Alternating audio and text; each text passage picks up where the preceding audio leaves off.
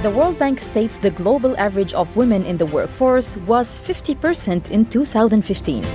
Yet their inclusion is about only half of that in the MENA region, which today has a population of more than 400 million.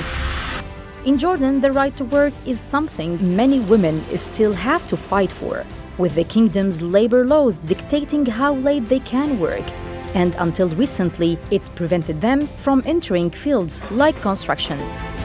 Looking to improve things is the Khalil Gibran Chair for Values and Peace from the University of Maryland, which founded a project with the WPP two years ago. It works with local groups in Jordan, Morocco, and Kuwait to amplify women's voices and improve their labor freedom.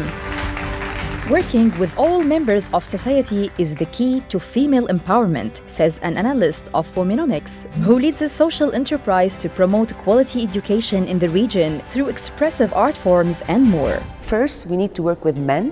We have to find the supporters. We have to bring them on board because they become the role models to other men. We have to come together to create a feminist economy. On the other hand, we need to also work with women. We need to have women that have a voice, that have a choice and a control about their future.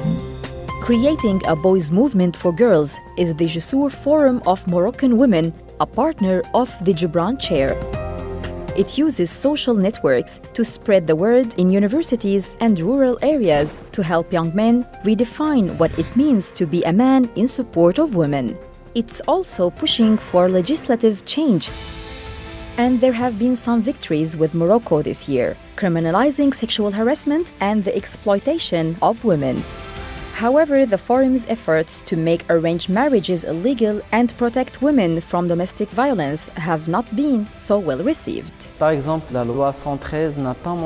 For example, Law 113 did not mention the types of rape, especially marital rape, and Jusur made several efforts to send recommendations to the ministry but unfortunately, they did not take it into consideration.